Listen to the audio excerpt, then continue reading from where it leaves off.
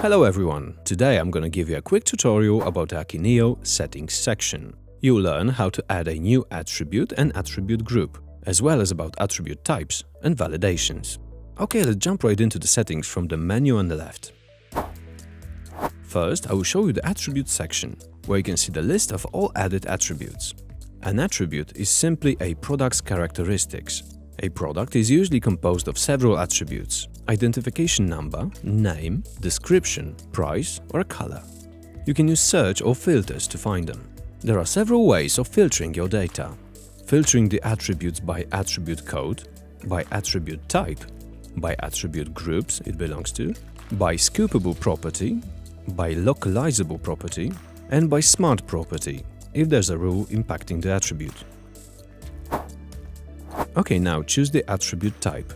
There are 17 available, like asset collection, date, file, identifier, image, metric, multi-select, number, price, reference data multi-select, reference data simple select, reference entity multiple links, reference entity single link, simple select, text, text area, and yes-no attribute. Here's for example the date attribute. All attributes have general parameters like code, type, attribute group, unique value, value per channel, value per locale, read-only, usable in the grid, and locale-specific. Some of them have type-specific parameters or validation parameters. Validation parameters are to add more control to the attribute's values. In the Label Translation tab, you can enter the names of labels for different locales.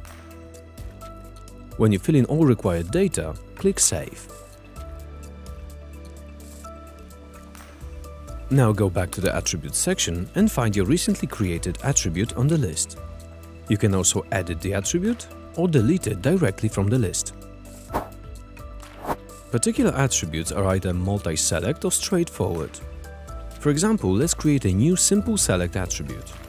You have to enter the attribute code, choose the attribute group, and select some other parameters. Then jump to the translations and click the Save button. Now you can see new additional tabs Options, Rules and History. If you want to add options to our simple select attribute, provide the code of the option, translations and check the action box. You can set the rules for our attribute under the Rules tab.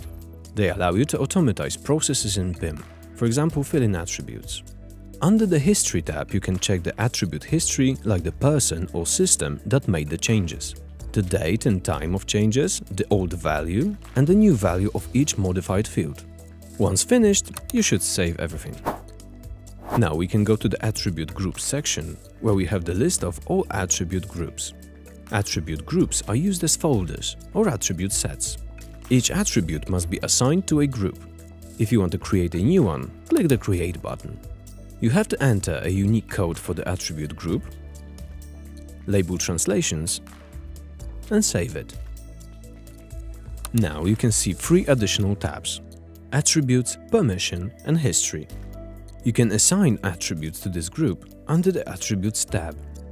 The last thing you need to do is to click the Add Attributes button and search for attributes that you want to add and simply click Add. The Permissions tab is available only in the Enterprise Edition. Under the Permissions tab, you can restrict the view or enrich attributes to one or more users and under the History tab you can check the history of changes. In the end, save everything. Okay, I hope this helps. Now go and enjoy managing your attributes. And please subscribe to our YouTube channel for more updates. And see you next time.